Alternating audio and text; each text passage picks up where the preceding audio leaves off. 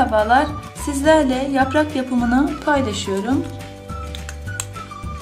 6 santimi eninde ve 12 santim boyundaki kestiğimiz saten kurdalemiz. Yaprak yapımı için kurdalenizin eni çok da önemli değil. Daha dar da veya daha da geniş kullanabilirsiniz.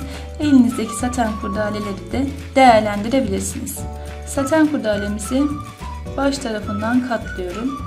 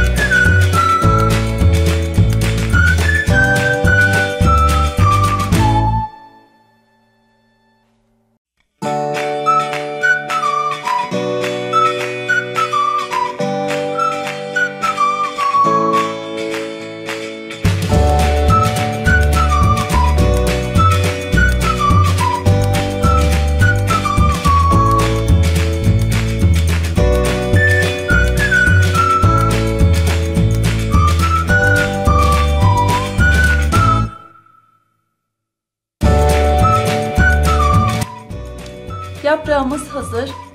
İstediğiniz çiçeklerde kullanabilirsiniz.